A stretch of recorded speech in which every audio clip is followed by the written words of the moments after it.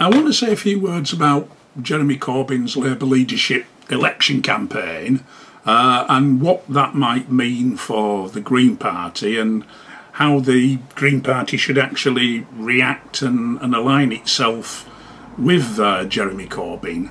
Uh, and, and just like everybody else, I've been absolutely taken by surprise by by the incredible momentum and, and popularity of Jeremy Corbyn's campaign for the Labour leadership. He his uh, left of centre anti austerity programme seems to be attracting massive support uh, in the Labour Party, within the trade union movement, and, and, and particularly amongst young people. Uh, he's commanding massive audiences at his uh, campaign meetings. He's getting huge media attention. Uh, and he's actually looking like he's got a damn good chance of, of winning the leadership contest. But, well, personally, I, I wish him the best of luck. And I, I really do hope that Jeremy Corbyn does become uh, the, the, the, leader of the Labour Party. I think he'd be a great leader. Uh, but his success or otherwise does actually raise some quite difficult but very important questions for the Green Party.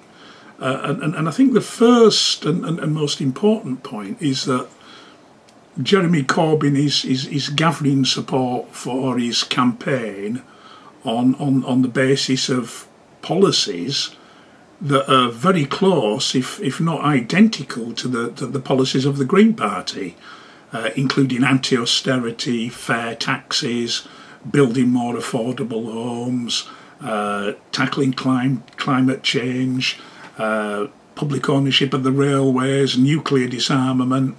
There's a, a, an incredible similarity between what Jeremy Corbyn is arguing for as his vision and the, the vision of the Green Party. And, and, and if Jeremy Corbyn does win the, uh, the, the, the leadership election, and he does persuade Labour members and the affiliated trade unions to, to support his policies, then the, the question's got to be asked what's the point of the Green Party? And, and really, this is the debate that, that the Green Party can't avoid.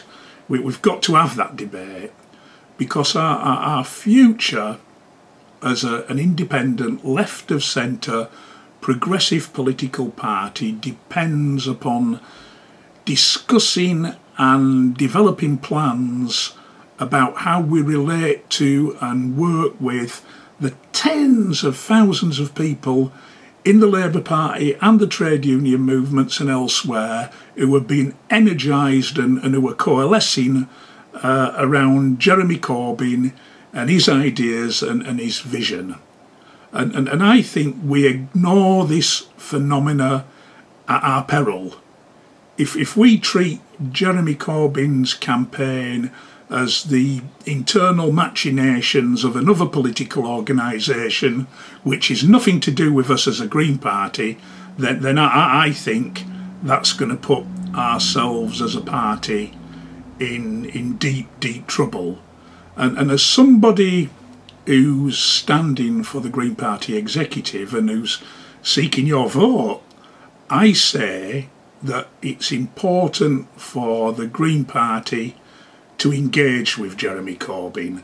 And, and, and I believe that our leaders should be meeting with Corbyn and his team uh, to, to develop ways of working together nationally, regionally, uh, and locally to promote the, the many ideas that we have in common.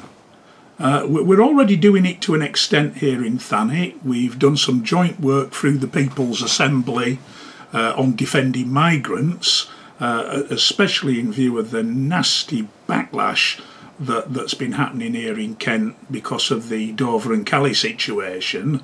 Uh, we're also talking about working together on uh, affordable housing uh, uh and benefit sanctions as well.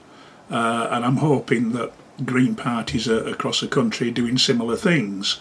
We, we do need that level of, of engagement. But by developing those links and, and, and working with the Corbyn campaign, I don't think that necessarily means that we are in any way supporting the Labour Party as it now stands and as it is now constituted.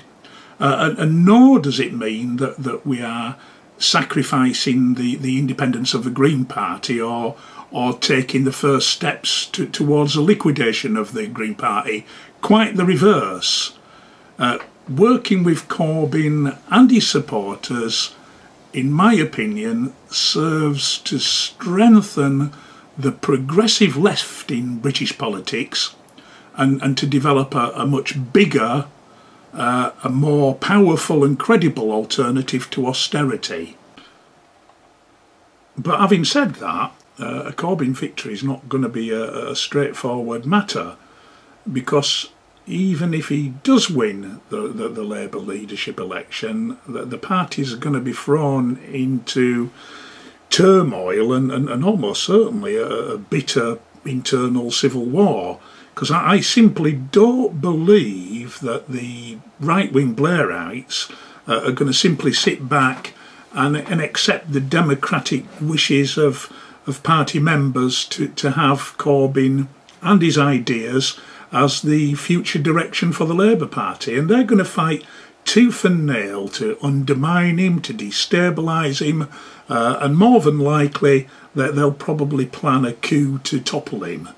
And even though it's not our party, uh, I think if this is what's happened, if this is what happens, and a, and a, and a civil war does break out in the Labour Party, then then it, I think it's incumbent upon the Green Party to openly support Corbyn and his ideas uh, and his struggle to fend off the challenges and conspiracies of the right wing of the Labour Party. Now, if he wins that struggle, then it's certain, I would think, that, that many of the Blairites uh, and, and, and, many of the uh, old school right wing of the Labour Party will leave the organisation. Uh, and, and I think it, it, will automatically start to become uh, much more socially and environmentally progressive than, than it now is, which means, uh, as I said earlier, that, that the Labour Party, rid of its right wing, could, could actually become a, a progressive organisation with which the Greens can do business uh, and cooperate with. Uh, so, so there is a, a, vested interest for us to support Corbyn in, in any difficulties and and, and uh, civil war that may result from him being elected by the party members democratically uh, to its leadership. Uh, now, if he loses that struggle, on the other hand, or, or in fact, if he doesn't win the leadership uh, election, then I'm sure that many of those thousands of people who, who have voted for Corbyn, who have been won over by his ideas and inspired by his his his, his vision and his policies, many of those people are, are quickly going to become disillusioned with the Labour Party.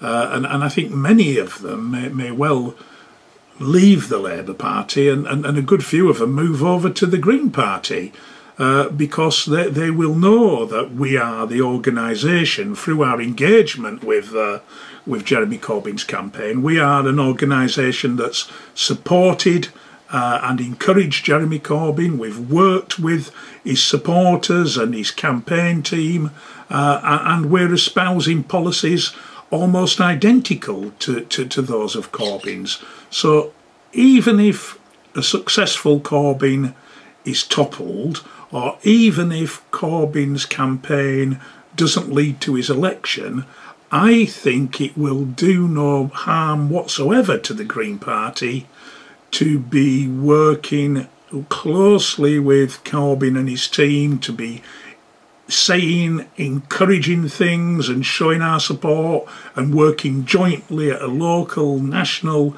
regional level with Corbyn to, to promote his ideas and his vision. Uh, so, you know, I think we will gain from that as well.